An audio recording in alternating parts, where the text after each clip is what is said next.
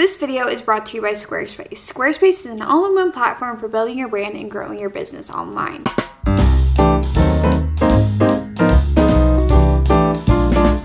Okay guys, the time's finally here. It's finally here. Do you know what time it is. I'm gonna act like you don't anyway. It's time for the reread.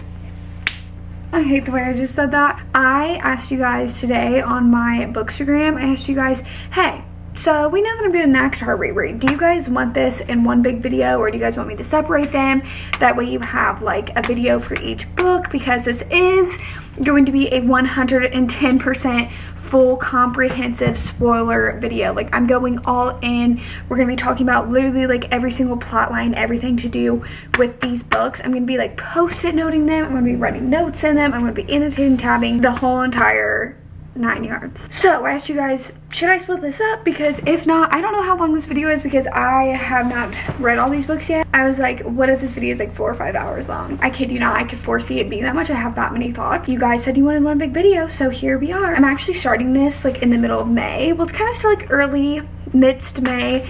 And of course, we're going in order. I wish I didn't have to because I would start with that. But we do have to not suffer through because I love the last like I would say like 40% of this book. I love it so much. Just like the first 60% is a little bit painful. It's kind of honestly disappointing how much I can't get this book out. I am going to be rereading and annotating with my hardcovers because I said this in like a video, but I can't remember what video it's in, but I have like lightly annotated all of my ACOTAR books previously and I just don't like annotating over previous annotations. So I got the hardbacks too completely and utterly reread these. But also the weird thing is, is inside of these, it says from the library of Annie Walters. And I got this on Amazon. So it's a little odd. Also, if you hear a sound, people are outside mowing the lawn. What shall we annotate with? Obviously, ACOTAR is red. Do I have red tabs. Okay, I literally have no tabs that would go with this book in the way that I want it to. Why does this have red dye on it. But when did this happen? It's looking like we're gonna have to use these. I don't know, I don't usually highlight a lot, but if I do highlight, I would like it to be a very light highlighter. So I think I'm gonna go with this one. Oh my God, the fact that this, this hits so much harder now. It says for Josh because you would go under the mountain for me. I love you. I want to die. Okay, so this is what our annotations are looking like. So this like orangish color is like lovey, sweet moments. Then we have quotes, my achy breaky heart for like all the sad moments. We have this pink one is all of the important things that we're gonna have to tab along the way. And then the purple are like my absolute favorite moments from the book. I like to have those tab that way I can like go back to them. I think I'm gonna start reading outside. There's that, I can't believe we're starting my ACOTAR reread. You know, you know what time it is. Hello everybody. Before we get into today's video, you guys know what we're gonna do. We're gonna thank the sponsor of today's video, which is none other than Squarespace. Thank you so much to Squarespace for sponsoring today's video. Don't even act like you guys don't know what's up, okay? I always talk about Squarespace. I literally love them. I tell you guys so many times that if you guys are looking for whether you're going to be an online retailer, a blog, you're running your own little business, whatever it is, you guys need to be using Squarespace, okay? Squarespace has so many different things for all of you guys, and it's so simple and easy to use. You literally just boom, boom, go on Squarespace, start your free trial. There are so many templates as soon as you get onto the website. There's literally so many to choose from, and boom, all you have to do is click on it. You can customize it any way you want. You can just follow that same little structure. You can change the colors. You can add whatever you want. You can literally change whatever you want. Change up the whole design if you want, okay? You can do, world is your oyster, okay? You can do whatever you want. Also, for those of you who are running either whether it's a blog, business, you're running stores, whatever it may be, there are so many different data and analytics that can help you in the success of your business. Okay, so if you are running your own business and you need to be scheduling things, there are scheduling things on there where people can go on your website and you can see where the schedule is at. If you are somebody who is running a blog or just like a business, you can see where the traffic in your website is coming from, where the people are coming from. You can see who's visiting your website, how they're getting there, all of these different things. Okay, there's so many different forms of data that you guys can use. And then also, if you guys are running a blog, they have so many different features for that that help with the blogging tool. That's more of like what I try to go for. My favorite thing is how they highlight the different social aspects and there are blogging tools where you can create a community within your own little blog, but people can go and share your social medias and they can visit your social medias. Simple and easy as clicking a button. That's exactly right. So I know you guys are gonna want to start a free trial on Squarespace, so all you guys have to do is go to squarespace.com to start your free trial, but then when you guys are ready to launch, you guys can head to squarespace.com slash Sidwell to get 10% off your first purchase of a website or domain. As always, thank you so much to Squarespace for sponsoring today's video. I love ya.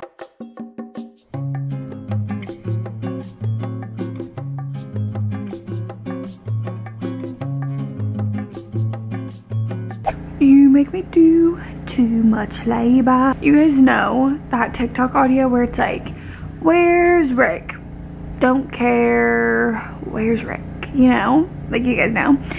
That is literally how I feel when trying to reread this book. I'm slowly but surely reading this because I don't love the first part of this book. I just read the part where she kills the wolf in the woods. And why is it so sad? Because she's like scared that it's a fairy and she kills the wolf anyway because it's about to take the deer. And obviously, like her whole entire family is starving, and Feyre is the only person that is like supplying for her family. And so she's like, I have to get this deer. Like, I can't let this wolf take this deer away from me. And she, like, is scared that it's a fairy, but then she's like, no, it can't be a fairy. And it says, his legs were twitching as a low whine sliced through the wind. Impossible. He should be dead, not dying. He pawed at the ground, his breathing already slowing. Was he in much pain, or was his whimper just his attempt to shove death away? I wasn't sure. I wanted to know. And then at the end of the chapter, says, I wish I had it in me to feel remorse for the dead thing, but it was the forest and it was winter. And like I never before, like when thinking back on this, I never like felt bad. When you think about it, Feyre is literally just like surviving off of her survival instincts. So like of course that's like what she's gonna do to try to like feed her family. It's so sad also to think about. I think it's like towards the middle of the book when one of the fairies come in and she like watches him die after he got his rip wings ripped out. Does she think back on this during that time? I can't remember. It's so sad. Okay. Okay guys, so it's been a little bit. I actually have not been currently like reading, but I was about to get back into ACOTAR and I have a few thoughts because I'm still in chapter two, but I was reading it pretty slow earlier because I was really tired. So I was reading it slow. First of all, one of my things is like chapter two is where you meet like Nesta and Elain and their dad and it's so hard like not to hate Nesta. After I read A Court of Flames, it made me really love Nesta and like her character development. And it's just so hard not to go right back to hating her and go through the whole entire character process again after rereading this book just because genuinely and I am somebody that, I'm not a Nesta hater before anyone says anything because I, like I just said I have learned to love Nesta through her book. It's just so hard like Nesta is genuinely a terrible person in these books. I know that you learn about stuff in her book but like just this behavior is really inexcusable to me. The fact that Feyre is really like out risking her life going into these super dangerous woods to feed her family and she comes home and Nesta is always making comments about how filthy she is and Nesta doesn't even do the bare minimum that Feyre asks of her. Right here on page 15 I put a sticky note because this is some foreshadowing, our first little foreshadowing. Well I'm sure it's not the first but the thing about Sarah J Maas, because obviously you guys are watching this video you guys have read Sarah J Maas's books maybe just ACOTAR maybe all of them maybe just Throne Glass maybe just ACOTAR I don't know. She is very oh I have the word do you guys ever have the word in your brain and then lose it like you're about to say it and then it goes into like the abyss. She's very thoughtful about every single thing that she puts in and what I mean by that is that everything has a purpose. She's very purposeful. That's the word I was looking for with what she writes. And so on page 15, she talks about how she painted the dresser and it says, frowning at the violets and roses I painted around the knobs of Elain's drawer, the crackling flames I painted around Nesta's, and the night sky whirls of yellow stars standing in for white around mine. Okay, foreshadowing. The thing is, is that we don't really know much about Elain yet. Um, not just in these books, but like in the whole entire ACOTAR series, she hasn't really been explored. Um, we know that she's like a seer, but we don't know like what the whole entire, like obviously the flowers and Elain being very like into nature and stuff is going to play a huge role into her future but the crackling flames she painted for Nesta and when you know we'll talk more about the book and I'll reference it when we get to a court of silver flames. Are they called a court of silver flames. Hello. And then the night sky. Worlds of yellow stars standing in for white around mine. It's so purposeful and I literally yeah I just read this foreshadowing to their futures Feyre the night sky Nesta flames and then I put question marks for Elain because I do not know. Elain and Nesta are talking about Thomas, um, the guy that like was wanting to marry Nesta. Yeah, because she says that Nesta can't even chop wood for us, but you want to marry a woodcutter's son. Oh, oh. Oh, oh, bless it. Okay, sorry guys. Uh, Charlie needs her kettle time. Okay guys, it is quite literally, I think like a month later since like the other clips were filmed because I, where did I just put my book at? I have not been in the mood to, not that I haven't been in the mood to reread ACOTAR because I've really been wanting to reread it, but it's just, I haven't been in the mood to like sit down and talk to the camera, but also because I like reading the beginning portion of this book is a little rough. Not because it's bad, but just because like after you know what you have to look forward to this story not the storyline but like the first like 60 percent of this book really doesn't compare at all because obviously since this is a full spoiler like i am excited to read about under the mountain again like i really want to reread that and then obviously I really want to reread ACOMAF. I have been trying to make some progression into this book. It's not a whole lot is really happening. I wrote down a few notes in my little handy dandy journal of what's happened. We had Feyre and Lucien kind of start to sprout their friendship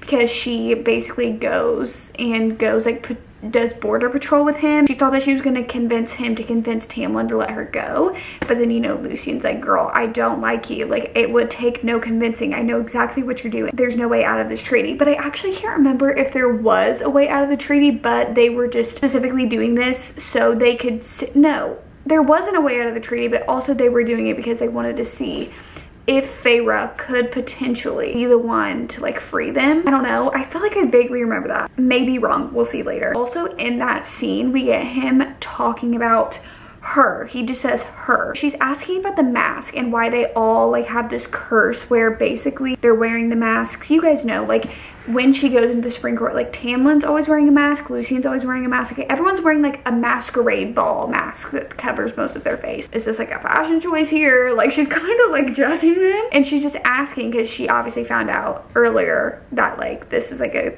uh, she doesn't know it's a curse or does she know it's a curse? Literally actively rereading it. Why am I not like stowing away knowledge? She's basically like, why is this a thing? And he's like, something sent from the depths of hell, which he's talking about Amarantha and or Amaratha. I don't know how you say her name. It's not important, so I will mispronounce it because I hate her. He is talking about her and then he's like, oh wait, like I don't know if she can hear like her. And she's like, she doesn't ask him who her is because she just assumes that it's a High Lord and she just kind of assumes that she's one of the seven High Lords or whatever. We get that and then also we're just kind of getting more of trying to build the connection between Feyre and Tamlin. She sees her dad out in the garden and she goes to like, go after him but then Tamlin stops her and he's like where are you going and she's like my dad and he's like that's not your dad. I thought you were warned about this stuff like why are you being so stupid Feyre and we're kind of as the reader like Feyre he kind of has a point. Why are you being dumb? Like you think you're dear old dad was like making it through. But also there's a little bit of foreshadowing. Let me see if i can find it. It's in chapter 11 and she says my father my father had come to take me to save me. Whatever benefits tamlin had given him upon my departure couldn't be too tempting then. Maybe he had a ship prepared to take us far far away. And i know like her dad was like into all of i forget what her dad did like before they were you know, everything got taken away. But I almost also felt like it was foreshadowing to what happens in ACOWAR maybe it's not. Maybe i'm literally just like reaching. Yeah we just have like scenes of her and tamlin so not a lot has been going on. It's really just trying to build connections with like lucien and tamlin and starting to kind of like get little puzzle pieces of things. I just wanted to update you guys because i do want to finish this tonight 8.30 p.m. right now and I would really like to start ACOMAF later. Obviously, I'm not going to finish both of these books tonight, but I would really like to start ACOMAF. I actually already have an update because upon a reread, especially when it's a fantasy of this sort, because obviously when you're first reading the book, the like under the mountain thing is like such a big like kind of plot twist that you find in the book like did not see that coming at all. And it's so funny like when i reread to think like i just full on was not suspecting a single thing. In reading this scene where Feyre wakes up and she kind of stumbles upon Tamlin and Lucien having an argument where Lucien is basically ripping into Tamlin because he's like we're running out of time. Like look all the stuff that's coming into our woods. You're letting this slip. Like you're not even trying. Like you're not even trying with Feyre. And then Tamlin someone's like, it was a mistake from the start. I can't stomach it. Not after what my father did to their kind, to their lands. I won't follow in his footsteps. Won't be that sort of person, so back off. First of all, when did all of a sudden Tamlin have morals? Second of all, it's like Tamlin, I can like understand though, because here's the thing. I'm not a Tamlin hater. I hate Tamlin for Feyre. Like I will never go down that road again. You know what I mean? I'm not one of these people that like don't want Tamlin to have a happy ending. Like some people are like, I don't care what happens to Tamlin. I want Tamlin to end up happy in some sort of way. In a way, he kind of was used as like a plot device to like upend the love triangle type of thing that was going on. And do I like Tamlin? No. But do I hate him? No. In this sense of it all, it's a very, it's a very selfish very selfish act because instead of thinking of like everybody else that he was supposed to save, he's really just thinking of himself and like wanting to give up. I don't know if that makes any sense. First of all, I want to point out Feyre is in like the little study that Tamlin takes her to and she's looking at the mural of like what happened to make like the lands split and she's like explaining all of that with the cauldron and everything like that which another reason why I wanted to reread these books is because stuff interconnects is all I will say and I kind of wanted to go back and see like if I can pick up on things or like understand better like, what this whole entire like the actual fantasy elements of the world are. But it is so funny to see the little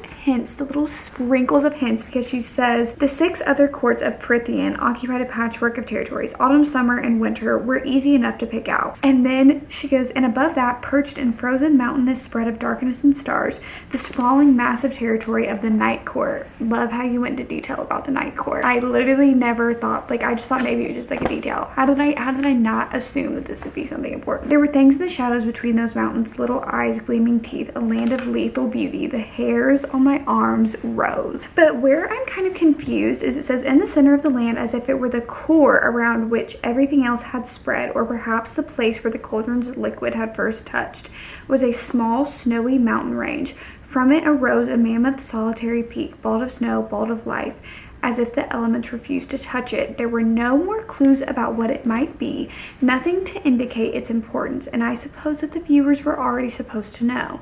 This was not a mural for human eyes. And where I'm confused is, is this supposed to be a nod no, because the night court is Velaris. But is this supposed to be like the mountain where she goes under? Or is that supposed to be Velaris?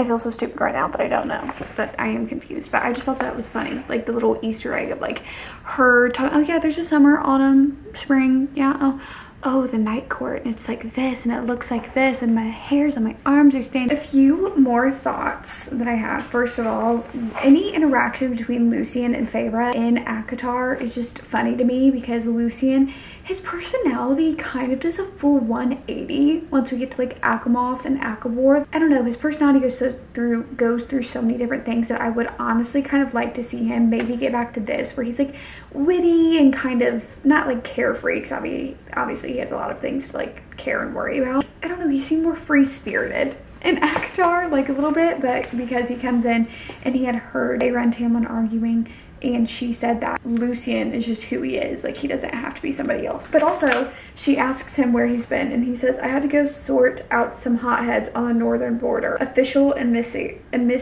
business. And I put brothers question mark because I can't remember where his brothers are, like what, like whatever, but I, I don't know why. I just feel like maybe that's what it is. I don't know. Him saying, I'm glad to hear your human heart has warmed me though. At least I'm not on the top of your killing list. It's like, okay. But also I wanted to say this, that rereading this book after reading A Court of Silver Flame, I well, I already knew why, but also it's kind of an eye opener because right here when she, her and Taylor are kind of arguing, and he's like, do you think I just sit and think of ways to humiliate you and like whatever? And she says, illiterate, ignorant, unremarkable, proud, cold, all spoken from Nesta's mouth, all echoing in my head with her sneering voice. Because obviously you are hearing from Feyre in these books, like you are in Feyre's mind. So that's what her perception of Nesta is. And when you think about it, you spend all of the four books, which, I mean, Frost and Starlight's a novella where you spend a lot of time with other characters too. But the, okay, we'll say the first three books, uh, long books in Feyre's point of view and Nesta being cold and nasty towards her and you don't see Nesta's point of view of these events or like why she's doing it. So obviously you're gonna build this just hatred almost towards Nesta because you get attached to a character that you know and love and then somebody who is being very mean and terrible to her like you're not gonna want to be in their point of view and like hear them out. When rereading like the Nesta's parts I'm like I I don't go back to hating her when I reread it. It's just a tough thing because I almost wish I could have been in her head in these different moments to see her rationalize with herself of why she's behaving that way. Like how you see in a court of silver flames where it almost pains her to feel these negative emotions towards people but she almost can't help it? Okay we are at the part where Feyre just gets this bright idea to uh, try to trap the Suriel which the Suriel honestly an icon an icon throughout this whole entire book with Feyre especially. When she goes to Lucien's room and she's talking to him and then she's basically like how would I go about getting a Suriel? And they're like speaking in hypothetics with each other, which is actually funny. And also take a bow and a quiver and maybe a knife just like this one. And he like hands her the knife. He's like, I'd be, I'd be prepared to run like hell when I freed it to the nearest running water, which they hate crossing. She says, but you're not insane, so you'll be here safe and sound. I'll be conveniently hunting on the grounds, and with my superior hearing, I might be feeling generous enough to listen if someone screams from the western woods. And then he talks about like, but you basically have to keep your mouth shut about me knowing that you're doing this. It's a good thing that while you have superior hearing, I possess superior abilities to keep my mouth shut. They're just alliance is everything to me, and this is what I mean. Like, I miss this friendship between them because even when like later on in the books and Lucien's kind of like with Feyre and all of them, they don't have the same friendship and connection that they had in this book. And it makes me so sad because I love Lucien. He's genuinely one of my favorite characters and I feel like he keeps on getting done dirty. Anyway, she's about to capture the Suriel. And is this when the Suriel's like, stay with the High Lord? Or is it another time that she's talking and she's like, stay with the High Lord? And she's like, oh, she's talking about Tamlin. I can't remember which one that is. I don't think it's the first encounter. Okay, I'm reading the part where she just kidnapped the Suriel and we're getting like the description of the Suriel and I'm really trying to picture it in my head because obviously this much in I've seen fan art of like the Suriel and everything to do with ACOTAR. I'm really trying to imagine it because like I've said this so many times I'm very bad at like picturing things in my brain. I don't think that this is what it is but it would be fun if it was. She's looking at the Suriel and it says run. Human part of me whispered begged, run and run and never look back. And while I think it is her speaking to herself, wouldn't this be funny if it was like Rhysand?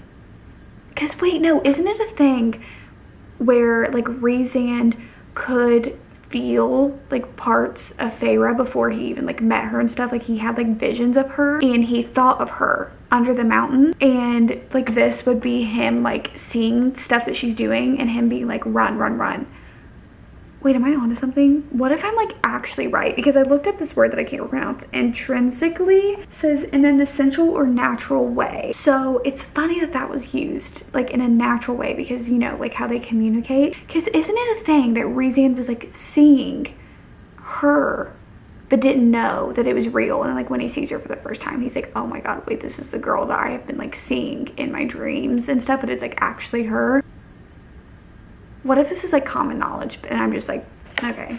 Oh, no, not the watery bowels. We do not need bodily function descriptions. I do not need to know that Feyre just basically crapped herself. Not me literally crossing it out. I just, why, why, why include this detail? Also, and I know maybe just inner thought monologue, but like when her and Rhysand are communicating with each other, the little italics, like they do the little italics in the book, like whenever they're like talking to each other in their mind. So the voice inside of her head telling her to run, I don't know. I'm just trying to back up my theory here. Yeah, also, Feyre doesn't know that Tamlin's a High Lord, and she just asked the Suriel about Tamlin. And she's like, the High Lord? And she's like, he's a High Lord? I'm like, girl, get with the politics. God, Feyre, how old is she in this book? 19? Could you imagine being 19 and having to deal with all of this? I would literally, like, just, I just wouldn't. I just simply put wouldn't. This, I knew it. I knew this is where it said it I knew it. I knew it. Feyre asks about Tamlin and she's like, he's a High Lord. And the Suriel just says, stay with the High Lord human. That's all you can do. You will be safe. Do not interfere. Do not go looking for answers after today or you will be devoured by the shadow over Prythian. He will shield you from it, so stay close to him and all will be righted. Now we're learning about the King of Hybern. A few updates. I think the only thing that's happened, Tamlin saved her from the, what were they called? I forget what they're called. It starts with the N, doesn't it? I don't know, but they he like saved her from them. They come home, they have dinner. Lucien is talking to her, like they're all talking to her fine. And then after dinner, Tamlin comes up to her and gives her like a elongated list of words so that she can like write to her family and he offers to help her. And he's like genuinely offering to help her because he sees how much that she has taken care of her family and that no one has ever taken care of her before. And he genuinely like wants to help her and she's, you know, very closed off to it. She's like, no, she thinks that he's like making fun of her and he's like, I'm not making fun of you. I'm being genuine. And she says, I don't want your pity. What about a friend? Like, okay, I don't, obviously I don't ship them. Like when I am reading back on it, there's just an overwhelming sense of fondness because there are a lot of scenes in these books where Tamlin is genuinely very nice and sweet towards Feyre and like, you know, he does some things later on that you're like, okay, Tamlin, what a waste of space. But there are some things that you cannot deny that he does that are very sweet to Feyre, especially in the beginning. I just also laughed because when she kind of, they like settle and they're like kind of you know, getting along and she asks if she can have some paint. And he's like, yeah. And she's like, I'll paint outside. That way I'm not making a mess. He's like, inside, outside, on the roof, wherever you want. Like, but if you need that, you'll need a canvas. And I wrote, no, she'll paint anything. Trust me, she'll paint on anything. Don't even get me started on the cabin. No, I can't do this. I can't. I'm on chapter 17 right now. Let's see how emotionally strong I am because this, I'm pretty sure I cried when I read this part for the first time, but this is where in the middle of the night, a, I think, yeah, he's from Summer Court and they find him and his wings are ripped off and he's dying. And it just says, my wings, the fairy choked out, his glossy black eyes wide and staring at nothing. She took my wings. I won't cry. I won't cry. just keep saying it.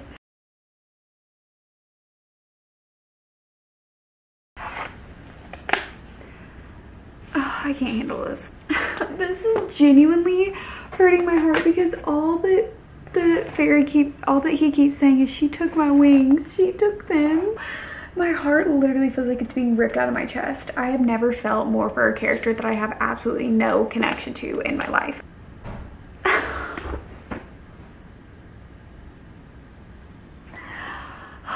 This is the part that always gets me. This is so sad because is like holding his hand and like um, putting her fingers through his hair and says, it will be all right. The fairy closed his eyes and I tightened my grip on his hand. My wings, the fairy whispered, You'll get them back. The fairy struggled to open his eyes. You swear? Yes, I breathed. The fairy managed a slight smile and closed his eyes again. and then he dies.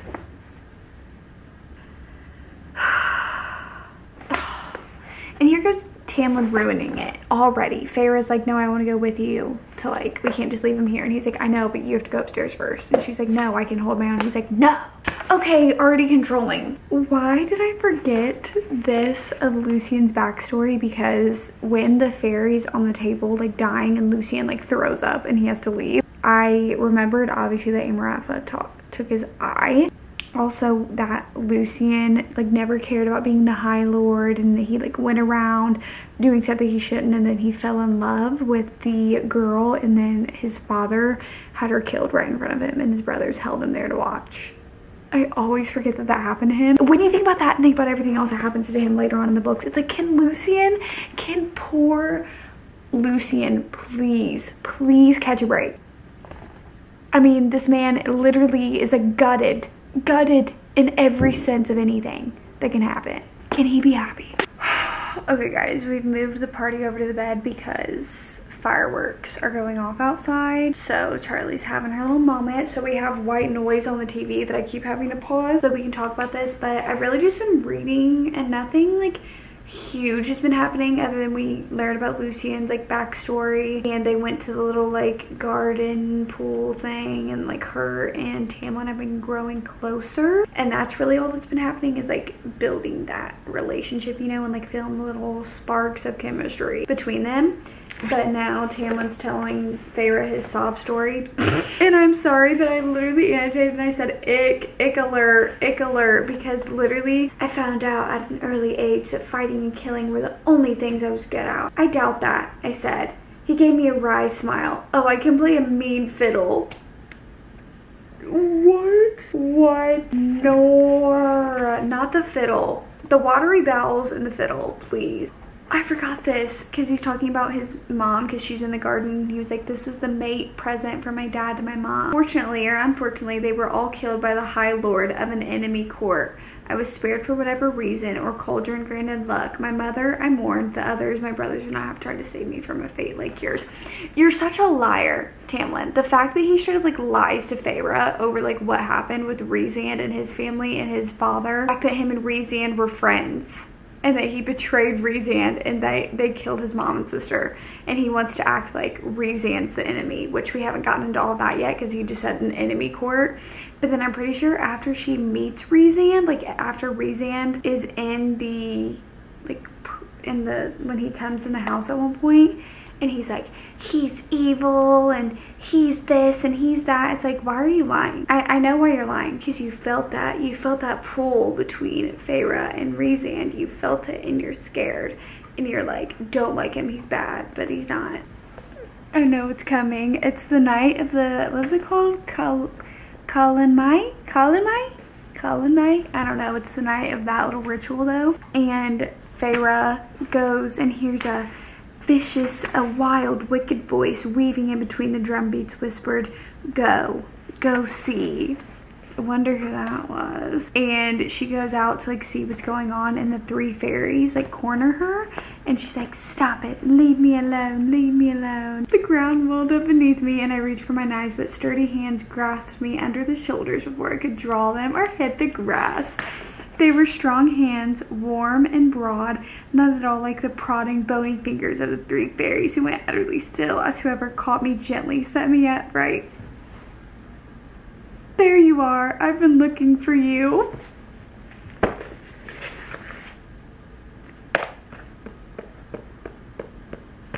I'm gonna throw up. There is no way. There is no way. There's no way. I'm so down bad. I literally need to get up. You are. I've been looking for you, said a deep, sensual male voice. oh my god. I should have known. I should have known. Like, why was she, like, her describing his voice is sensual. Like, yeah, girl, he's not staying with, she's not staying with Tamlin. What was I thinking? But I kept my eyes on the three fairies, bracing myself for flight as the male behind me stepped to my side and slipped a casual arm around my shoulders. The three lesser fairies paled, their dark eyes wide. Thank you for finding her for me, my savior said to them, smooth and polished. Enjoy the rite. There was enough of a bite beneath his last words that the fairy stiffened. Without further comment, they scuttled back to the bonfires. I stepped out of the shelter of my savior's arm and turned to thank him. Standing before me was the most beautiful man I've ever seen. I should have known right right here, right here at this very moment. The most beautiful man I've ever seen. I should have known. I'm literally so down bad. Every Oh, everything about the stranger radiated sensual grace and ease. High Fae, no doubt. His short black hair gleamed like raven's feathers, offsetting his pale skin. His pale skin? And blue eyes so deep they were violet. Even in the firelight, they twinkled with amusement as he beheld me. He does not have pale skin. Ah, I love it so much. For a moment, we said nothing. Thank you didn't seem to cover what he'd done for me, but something about the way he stood with absolute stillness, the night seeming to press in closer around him, made me hesitate to speak, made me want to run in the other direction. Not me. Not me. his clothes, all black, all finely made, were cut close enough to his body I could see how magnificent he was, even as if he'd been molded from the night itself. Girl, I know had I just traded three monsters for something far worse? Girl, you're welcome for saving you. I bristled at his arrogance. Girl, me too, but... Strange for a mortal to be friends with two fairies, he mused. Aren't humans usually terrified of us? And aren't you, for that matter, supposed to keep to your side of the wall? It might be a while before they return. May I escort you somewhere in the meantime? yes. With the right then, try to stay out of trouble. His eyes gleamed in a way that suggested staying out of trouble meant staying far, far away from him. Though it might have been the biggest risk I'd ever taken, I blurted, so you're not part of the spring court? Girl, I know you want, why you wanted to keep talking to him. I know why. I know why. He returned to me, every movement exquisite and laced with lethal power. Girl, she doesn't even describe Tamlin like this. Do I look like I'm part of the spring court? Literally, I'm wearing all black no, I'm not a part of the noble spring court and glad of it. And then he gestured to his face where the mask might go. I should have walked away, should have shut my mouth. Why are you here then?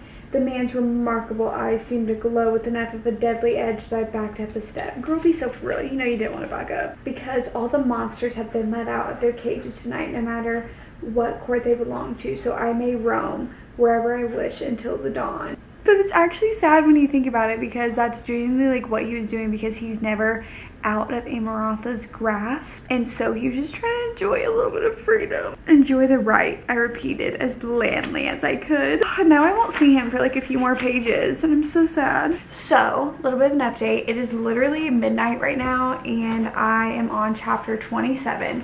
So, stuff went down. So, I actually haven't been recording because my camera battery was like on its last leg so I was letting it charge for a little bit but basically we've established the relationship we were building the relationship between Tamlin and Feyre but the weird thing is upon the reread you are getting snippets of them just starting to like like each other and so upon the reread it's like maybe it's because I'm comparing it to her and Rhys. No way that she like loved Tamlin the way that she says she does. I don't know. Not like Feyre's a liar, but like it just doesn't feel like they have that type of connection. I may just be gaslighting myself, I don't know.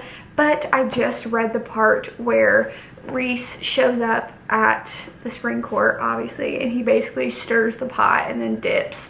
And it was just so hard to read though because like whenever he says some things to Feyre and like says some things about Feyre because during this time, I remember it was during this time he kind of was putting on this front for everybody. Like he was this really, really mean and like evil guy to kind of keep up this front with Amar Amarantha. And it's like reading it knowing that this isn't how he really is is like it's hard to read, but now we're to the point where Tamlin is like sending Feyre away and telling her like leave and she doesn't know what's going on. he's like, you have to leave, you have to leave. Like I will tell people that I killed Andras, like you have to leave. Your I will send you back home. Your family will stay rich. like that's not what's important, but I think he's just offering her some security, but it just still is funny to me but he's basically like, you you gotta go. Like, you can't stay here, which I understand why. But upon the reread, I noticed so many times, like, obviously we all talk about what happens in ACOMAF, the big thing that like happens between her and Tamlin and ACOMAF. But it's like, he had that behavior all throughout this book. Like, all throughout this book, he is constantly telling Feyre, don't go here, don't go there, don't go out of your room, don't go this, don't go there really should have seen this coming because this is at this point repeated behavior from this man. Just finished the chapter where Tamlin's like, you have to go. Like you, he's still not telling Feyre though. I think Feyre finds out what's going on from Alice, doesn't she? Or Elise, Alice. I guarantee it's not as simple as Alice. I guarantee it's Elise. She finds out whatever and she has to leave. And you know what? I'm not above admitting when there's a cute moment okay? And why did it low-key make me sad? Whenever she was like, so you're making me go away because I'm useless in a fight. And he was like, I'm sending you away because it makes me sick thinking about you in their hands. And I was like, okay, that was kind of a slay. She was asking, how long do I have to go away for? A week, a month, a year? I don't know, but not forever, right? And he gives, not forever. Who wants someone around who's so covered in thorns? Thorns thorny, prickly, sour, contrary, not forever. And then whenever they you know what? And I said this, I said, okay, that's kind of slay. It says, I love you. He whispered and kissed my brow, thorns and all. I don't care what y'all say, that kind of did slay. A little frustrating to think about because she's like going away in the carriage. Tamlin had said, I love you, thorns and all. And then when she was leaving, it says, Tamlin smiled at me one last time. I love you, he said, and stepped away. I should say it. I should say those words, but they got stuck in my throat because of what he had to face. Because he might not find me again despite his promise. Because beneath it all, he was immortal and I would grow old and die. And maybe he meant it now. And perhaps last night had been altering for him as it had been for me. But I would not become a burden to him. I would not become another weight pressing upon his shoulders. So I said nothing as the carriage moved, and I did not look back as we passed through the manor gates and into the forest beyond. And it's frustrating to think if Feyre would have just told him the truth and been like, I love you, they wouldn't have had to go under the mountain. They wouldn't have had to do all of the stuff that they had to do. Feyre wouldn't have trauma. she just would have said the three words that she already meant. Isn't that a crazy thought? I forgot. Well, I didn't forget, but I just remembered after. That's the same thing as saying I forgot. This is one of my favorite parts of this book is when Feyre comes back home and she comes to the door and sees that her family is literally like filthy rich and Tamlin found the ships that like put her family into debt like when her dad had the ship. He found them brought them back to her dad with all the riches on them and they're like rich. And i'm pretty sure he sent Feyre home with like a bunch of money too. Elain's all like talking and is like you know just bubbly being elain her sweet caring self. And then nesta's kind of like just staring at Feyre and it's just kind of like you know being cold distant not very you know out of the ordinary but still like a little like whatever. Elain is talking to Feyre and she's like yeah, Nesta didn't last like the dating season, whatever it's called. And she's just been weird. And she's like, you know, she went to go see you.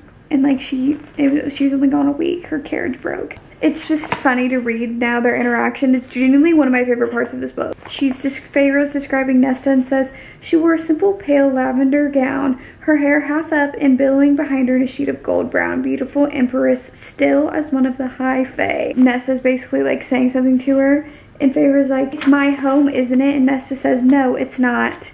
I think your home is somewhere very far away. Feyre says, Aunt Ripley's house. There is no Aunt Ripley. Your beast's little trick didn't work on me. Apparently an iron will is all it takes to keep a glamour from digging in. So I had to watch as father and Elain went from sobbing hysterics into nothing. I had to listen to them talk about how lucky it was for you to be taken to some made-up aunt's house, how some winter wind had shattered our door, and I thought I'd gone mad, but every time I did, I would look at that painted part of the table, then the claw marks further further down and no, it wasn't in my head. Nesta still has a long way to go and she still does quite a bit of things to Feyre, like after this, that it just shows how much genuinely Nesta does deep down care, but because of Nesta's trauma and what she holds within herself, like she doesn't really allow herself to like get close. And then Feyre says, Elaine said, you went to visit me though you tried. Nesta snorted, her face grave and full of that long simmering anger that she could never master. He stole you away into the night, claiming some nonsense about the treaty, and then everything went on as if it had never happened. It wasn't right. None of it was right. You went after me, I said. You went after me to Prythian. I got to the wall. I couldn't find a way through. You trekked two days there and two days back through the winter woods. She shrugged, looking at the sliver she'd pried from the table. I hired that mercenary from town to bring me a week after you were taken with the money from your pelt. She was the only one who seemed like she would believe me. You did that for me? Nesta's eyes, my eyes, our mother's eyes met mine. It wasn't right. Tamlin had been wrong when we discussed whether my father would have come after me. He didn't possess the courage, the anger. If anything, he would have hired someone else to do it for him. But Nesta had gone with that mercenary. My hateful, cold sister had been willing to brave Prythian to rescue me. And then she says, What happened to Tomas Mandray? I asked, the word strangled. I realized he wouldn't have gone with me to save you from Prythian, and for her, with that raging, unrelenting heart, it would have been a line in the sand. And she says, Tomas never deserved you anyway. My sister didn't smile, but a light shone in her blue gray eyes.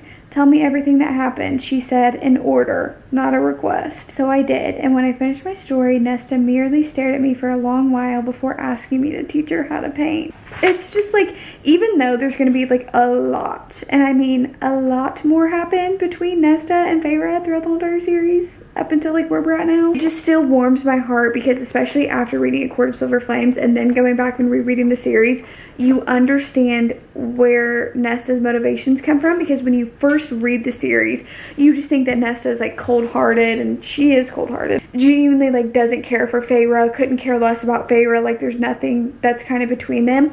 But when you read Nesta's point of view and see how much that she genuinely does care and love for her family, but there's just things deep down in her that stop her from doing it. Ugh, it rips your heart out of your chest, I'm telling you. Okay, I just read the part where they're at the ball that Feyre's dad threw in her honor for her like coming back home or whatever.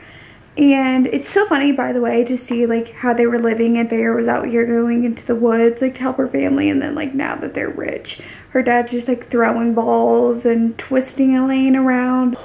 what happened to Clare's family? Because her dad's like, oh yeah, I'm thinking of buying the Blador, the Beddors, the Beddors property.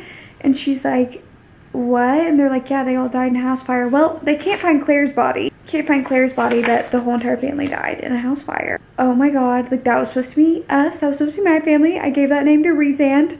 And he definitely went and made good on his promise to tell Amarantha. And that should have been us. And so she looks at Nesta and she says, You must listen carefully. Everything I've told you must remain a secret. You do not come looking for me. You do not speak my name to anyone. What are you talking about, Feyre? My father gaped at me from the end of the table, Elain glancing between us, shifting in her seat, but Nesta held my gaze, unflinching. And then her and Nesta have a moment, and she follows like Feyre upstairs and is like, the Beddors, that was meant to be us, but you gave them a fake name. Those wicked fairies who threatened your high lord. She tells Feyre, like, we don't need you, don't look back. Father once told you never come back, and I'm telling you it now. Like, don't come back. Coming from Nesta, that, like, means a lot. It says, Nesta remained in my room. She would not say goodbye. She hated farewells as much as I did. But I turned to my sister and said, there's a better world, Nesta. There's a better world out there waiting for you to find it. And if I ever get the chance, if things are ever better, safer, I will find you again. But Nesta squared her shoulders. Don't bother. I don't think I'd be particularly fond of fairies. Try to send word once it's safe, and if it ever is, Father and Elain can have this place. I think I'd like to see what else is out there, what a woman might do with a fortune and a good name. No limits, I thought. There were no limits to what Nesta might do, what she might make of herself once she found a place to call her own. I prayed I would be lucky enough someday to see it. First of all, guys, this is where stuff is going to start getting interesting in the story because Feyre just went back to Prythian to find Tamlin, just to find everything empty. And she finds Alice or Lise, whatever. And she's basically like, girl, he's gone. Like, this is what happened. And I used to never ever understand. Like, I understood like the bare minimum of it. Um, of the whole entire like Amarantha, Amarantha situation. Like, but I didn't really understand the full scope of it. I kind of understood all some of it. I literally just went through the pages and wrote down in all of these sticky notes the whole entire story. So if you guys are still a little bit confused about the Amarantha thing and like what that even is, I'll tell you. So basically, Amarantha is a high queen emissary for King Hybern. She charmed the high lords and she basically, and she was a lethal warrior for him that fought in the war. And she had a sister who fought with her, but Silithia fell in love with Jurian, but he was just using her because he was fighting with the humans in the war against the Fae. And he was just using her. Amarantha knew this, but couldn't kill him because how much Silithia loved him but Jurian ended up betraying her, Silithia, tortured her and butchered her and left her for Amarantha to find, Amarantha to find, and now she hates humans. So after the two sides made the treaty, she killed all of her slaves instead of freeing them. And basically, she charmed all of the High Lords and was used as the king's emissary to kind of just like get all of the peacekeeping. And she on purpose tricked all of them, manipulated everyone, brought over the king's goods on ships because she wanted, and then she wanted Prythian to herself, so she waited until the High Lords threw a ball in her honor, and she put a potion from Hybern's book in the wine, and she basically stole the High Lord's powers. But like they still have powers, but it's like a lot less than what they had. And so she then took control of Prythian fairly easily after this and took them as slaves for like years. And basically, Amarantha wanted Tamlin, she wanted to be with him, but he didn't want to be with her. So one day he sent Lucien to kind of be, obviously, he's Tamlin's emissary, so he was kind of trying to keep the peace. And Amarantha was basically like, I want to be with Tamlin. And Tamlin told her to crawl back into the crap hole that she came out of, and then she took his eye. So then, as an apology, she throws this masquerade in Tamlin's honor, and people are to wear the little masks to honor his shape shifting abilities. And then, publicly at the party, she says that the peace will be had if Tamlin joins her as a lover and consort, but he refused and he quite literally said he would sooner bed a human than ever be with her. So then she took that personally and she told Tamlin that he had seven times seven years to find a human girl to marry him, but not any girl, a girl who had ice in her heart, who hates fairies enough to kill one, just as Jurian killed Silithia. So the whole entire treaty was basically a lie, and Andras was a sacrifice. Why could I not remember the word sacrifice? Andras was a sacrifice, and basically he was kind of doing a last resort to see because for 49 years Tamlin had been doing this when the curse first happened every single day he was sending like people out to see like if somebody would you know want to kill this so that he could get someone to fall in love with him but the girl had to say I love you and look beyond the mask and all the stuff to break the curse. And so that's what I was saying earlier. Like when Tamlin says I love you, all Feyre had to do was say I love you for the curse to be broke but now instead she's to go under the mountain and go through trials to get to the same end product. I mean, that is how she ultimately gets her powers and turns into a fae. So, I mean, you win some, you lose some.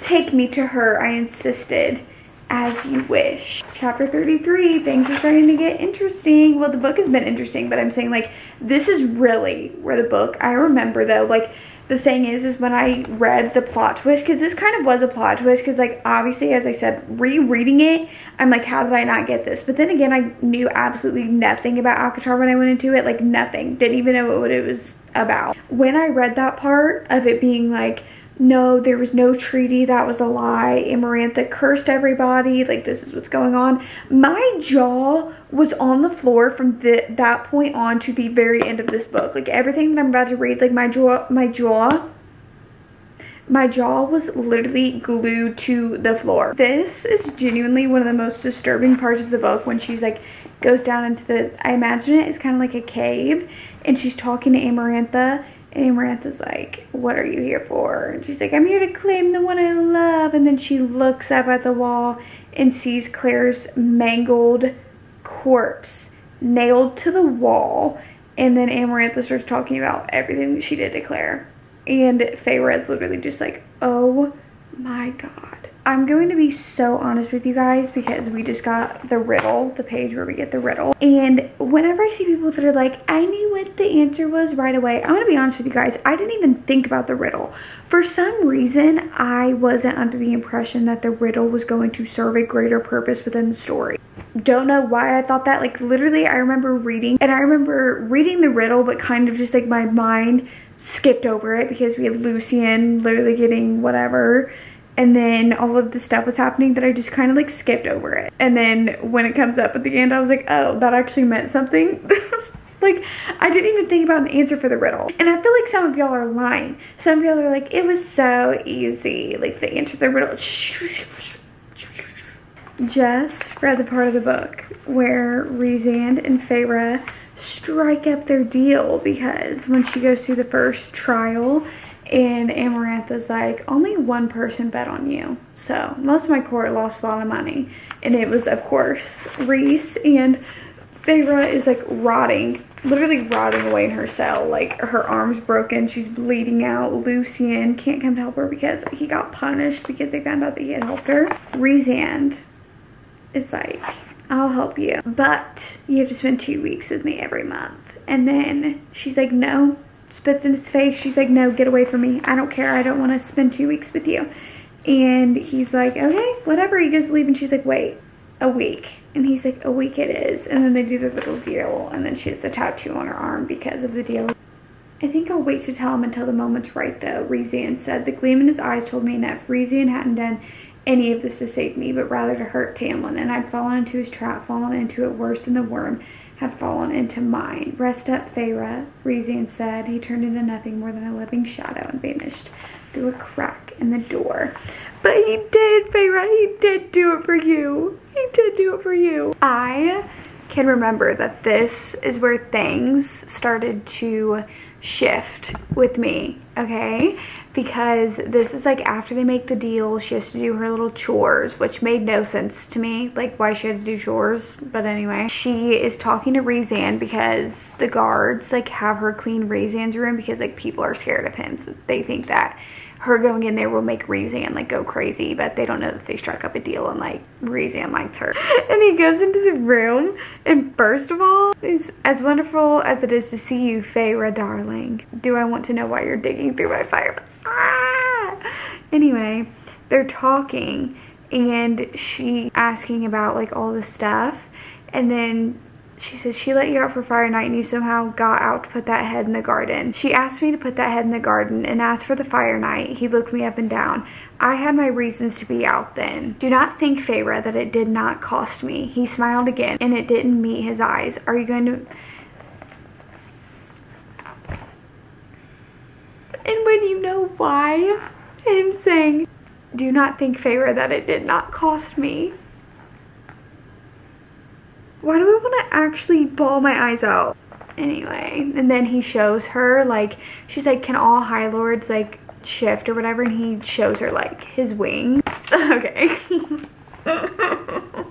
he goes, no attempts at flattery. You have a high enough opinion of yourself already. I doubt the flattery of a little human matters much to you. He let out a low laugh that slid along my bones, warming my blood. Oh man. This is like when you start to feel like chemistry between them, like for real, because they have time like alone with each other. And I just remember that this was like the point where I was like, oh wait, like why is he kind of... okay, so you guys are wondering, it's 2 o'clock in the morning. I literally never stay up this late.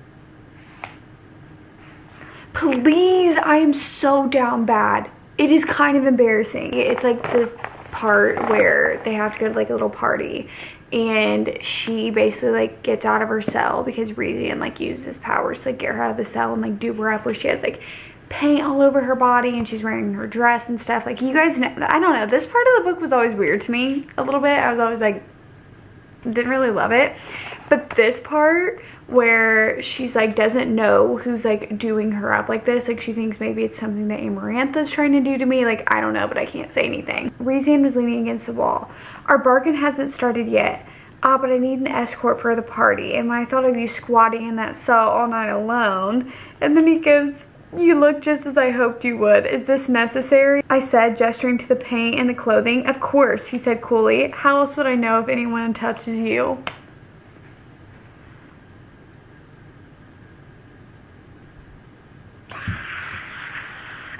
Why am I going feral? The dress itself won't mar it, and neither will your movements, he said, his face close to mine. His teeth were far too near to my throat.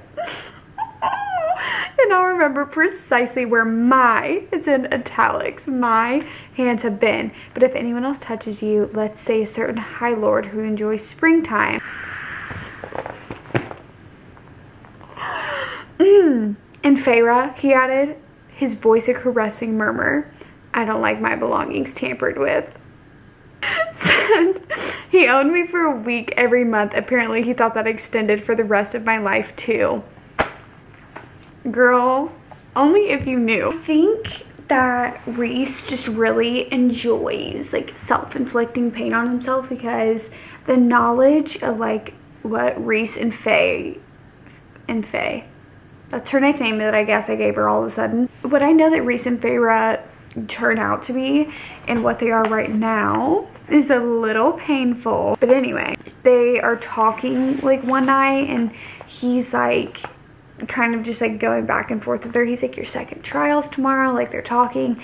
And then he says like, maybe if Tamlin learned how to be a little bit more wicked or what did he use? About cruelty then he would know what it means to be true High Lord, and it would have kept the spring court from falling. And she said, and Feyre said, Your court fell too. Sadness flickered in those violet eyes. I wouldn't have noticed it had I not felt it deep inside me. You don't know why, but I know why. What I do or have done for my court is none of your concern.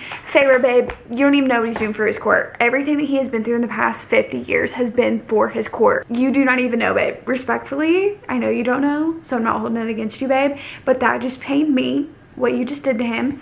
And then also, he says, I knew I was on dangerous ground, but I didn't care. What do you want with me beyond taunting Tamlin? Taunting Tamlin is my greatest pleasure, he said with a mock bow.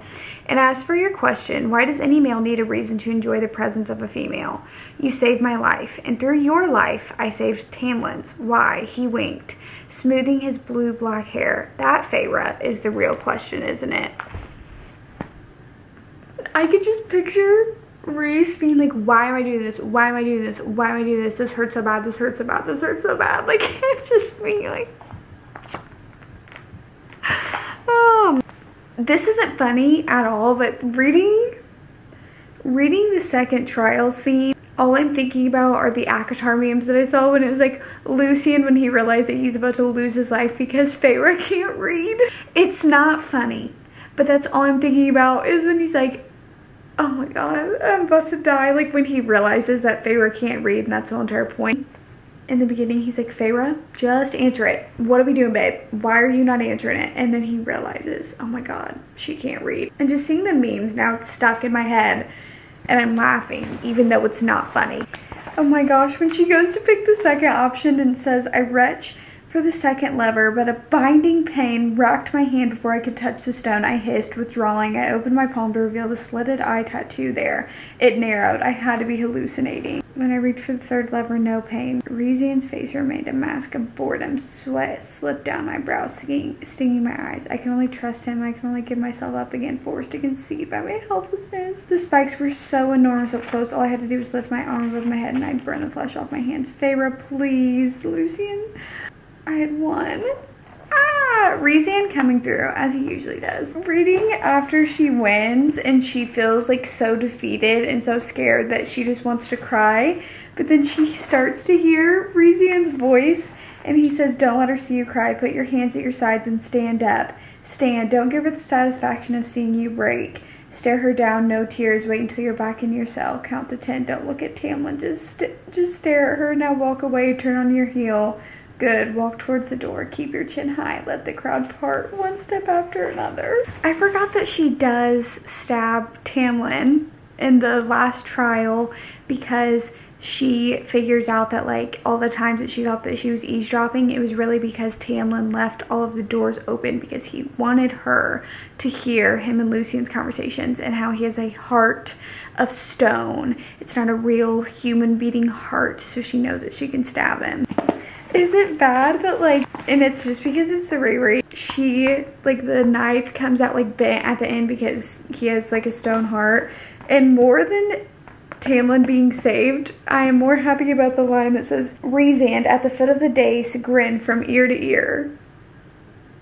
That part literally makes me happier than Tamlin being alive. Wow, this like escalated quickly. No. when Amarantha starts like basically killing Feyre because she's mad that like she out whatevered her. Literally says, Feyre, someone roared. No, not someone, Rhysand. I was a goner at this point, by the way. Like, when I was first reading this book, I was literally like, oh, I'm a goner. Like, this is, like, so intense. You think you're worthy of him, a high lord? You think you deserve anything at all human? My back arched and my ribs cracked one by one. Rhysand yelled my name again, yelled it as though he cared. Cause he does, cause he does. Feyre. Meanwhile, Feyre's literally just getting absolutely throttled. Like, she's just getting beat the crap out of. Guys, like, I already know it's gonna happen, but I'm still on the edge of my seat. Reezy was on his feet, my bloody knife in his hands. He launched himself at Amarantha. Swift as a shadow, the ash dagger aimed for her throat. She lifted a hand, not even bothering to look, and he was blasted back by a wall of white light. Oh, stop, I breathed, blood filling my mouth as I strained a hand to reach her feet. Please. Rhys's arms buckled as he fought to rise, and blood dripped from his nose, splattering on the marble. His eyes met mine. The bond between us went taut. I flashed between my body and his, seeing myself through his eyes, bleeding and broken and sobbing. This is when, like, I was so confused because, like, right here, I was like, why are we switching to, like, Team Rhysand? Like, not even just me, but, like, I feel like she was more concerned in this moment about Rhys than she was about Tamlin. Like she was like, Rhys, no, no, no, please stop, please stop. Like she was begging Amarantha to stop hurting him. Also, like, where is Tamlin? Wasn't the whole thing that Rhys thought that Tamlin was gonna kill Amarantha, like, as soon as... Oh, wait, is the curse still a thing? Rhysand bellowed my name as I lost my grip on the room. Then the memories began, a compilation of the worst moments of my life, a storybook of despair and darkness. The final page came and I wept, not entirely feeling the agony in my body as I saw the young rabbit bleeding out in the forest, clearing my knife through her throat. My first kill, the first life I've taken. I'm gonna pretend that this quote says Rhysand because she says, say you don't love him. And the quote is, but I wouldn't say it because loving Tamlin was the only thing I had left, the only thing I couldn't sacrifice. And I'm just going to act like it says Rhysand. Love, I breathe, the answer to the riddle is love. Tamlin's eyes went wide before something forever cracked in my spine. Oh yeah, because she solves the riddle she dies and then as soon as all that happens all hell breaks loose because all of the curse is lifted and Tamlin immediately kills her I think. Yeah he like completely murders her. Like he like full on murders her. I'm literally eating this up. I'm not even thinking about sleep. The absolute like if anything Amarantha has is literally the audacity to back away from Feyre's corpse and she said please like begged Tamlin like not to kill her. Literally the best thing that Tamlin has ever done. That I realized whose eyes I'd been seeing through. But Rhysand didn't come any closer to my corpse. No, someone breathed Lucien. I loved, like, as soon as Feyre went under the mountain, Lucien and Feyre's like friendship did a full 180 where like you could tell how much he cared about her like when he visits her in the cell. And he's like why would you make a deal with Rhysand like you knew I was gonna come for you at some point. She's like I was literally on the ground dying. Like I didn't know when you were coming. And he was like girl I literally received 20 lashings because I helped you before. Like I just now get up and walk.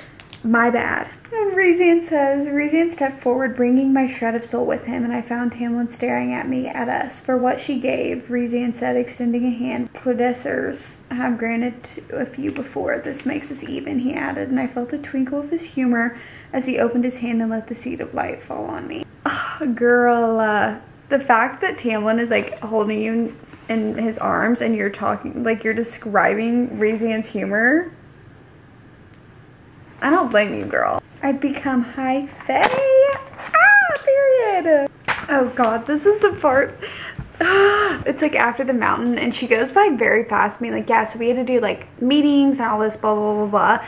But you kind of do get this little snippet of like how deeply Feyre is like struggling, but no one really sees it. And Tamlin's just kind of like, okay, business as usual. Like she didn't have to kill to High Fae and like everything that she's been through. And it says, I was pulled from sleep by something tugging at my middle, a thread deep inside. I knew who summoned me long before I opened the door to the hall and patted down it. Oh, same girl. I found myself on a small balcony jutting out of the side of the mountain. Rhysand chuckled softly from where I could vaguely make him out standing along the stone rail. I forgot it's been a while for you. I looked at him finally I can't, I can't, I can't, I can't, I can't. Stop. I looked at him finally. His wings were out tucked behind him, but his hands and feet were normal, no talons in sight. What do you want? It didn't come out with the snap I'd intended, not as I remembered how he'd fought again and again to attack Amarantha to save me. Just to say goodbye. A warm breeze ruffled his hair, brushing tendrils of darkness off his shoulders, before your beloved whisks you away forever. Not forever, I said, wiggling my tattooed fingers for him to see. Don't you get a week every month? How could I forget? He knew what I meant and shrugged. Because when the legends get written, I didn't want to be remembered for standing on the sidelines. I want my future offspring to know I was there and then I fought against her at the end even if I couldn't do anything useful. Okay, me when I lie, just say it's because you're literally obsessed with Feyre and in love with her. Because, he went on, his eyes locked with mine, I didn't want you to fight alone or die alone. Stop! Thank you, I said my throat tight. Rhys flashed a grin that didn't quite reach his eyes. I doubt you'll be saying that when I take you to the night court. Ah. Are you going to fly home? Unfortunately, it would take longer than I can afford. Another day, I'll taste the skies again. You never told me you loved the wings or the flying. Shrugged. Everything I love has always had a tendency to be taken from me. I tell very few about the wings or the flying. Stop, stop. S see, this is what I mean. Earlier, I was like, Re I was like, Rhys isn't pale because some color had already come into that moon white face and I wondered whether he might have once been tan before Amarantha had kept him below ground for so long. A high lord who loved to fly, trapped under a mountain, shadows not of his own making still haunted those violet eyes. See, because I knew that. I was like, Rhys is literally not pale. I don't know, but it was because, duh, Destiny, he's under the mountain. Be glad of your human heart, Feyre. Pity those who don't feel anything at all. Well, goodbye for now, he said literally my favorite part of the book is when he's leaving, when he's like, be glad for your human heart, Feyre, pity those who don't feel anything at all. I couldn't explain about the hole that had already formed in my soul, didn't want to, so I just nodded. Well, goodbye for now, he said, rolling his neck as if we hadn't been talking about anything important at all. He bowed at the waist, those wings vanishing entirely, and had begun to fade into the nearest shadow when he went rigid. His eyes locked on mine, wide and wild, and his nostrils flared. Shock, pure shock flashed across his features at whatever he saw on my face, and he stumbled back a step, actually stumbled. What is, I began, but he disappeared, simply disappeared, not a shadow in sight, into the crisp air. Stop, I literally can't because then when you read in ACOMAF his perspective of that moment when he realized, just stop, just stop. I literally, I actually can't. I need to like tab everything. I just finished ACOTAR. It is literally 3 a.m. It's 2.50 right now in the morning. I guys I was gonna finish this book tonight. wow, I literally love it. Five stars. I mean, the series is already five stars, so you should just know that like I'm not gonna rate the books because like you already know what the rating is. But I think when I first rated this book, I think I rated it like a four stars, but it's just so near and dear to me that it is a five stars. And I like now that so there's some connections when you reread ACOTAR. This one doesn't have a lot of them for like I feel like knowledge that you need to know because it's weird because I feel like this one was almost like you knew it was going to be a series but it almost felt like a standalone no but she planned everything out from the start. So anyway like the next books it's going to be more like oh what's this about because like this book was about like Amarantha and like doing that whole entire like curse thing and fixing that. But like the next one's like an ACOMAF and an ACOWAR where they're literally actively fighting against the King of Hybern. Loved. This took me like two months to finish, but once I started it today, I literally couldn't stop. Three o'clock in the morning. Hey guys.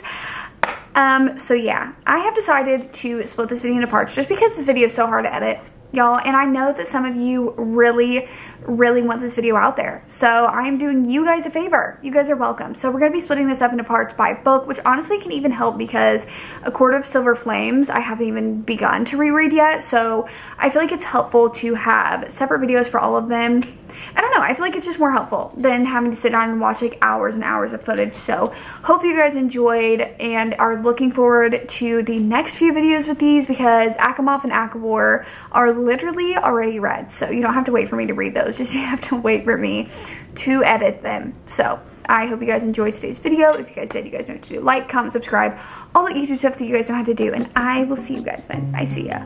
Peace.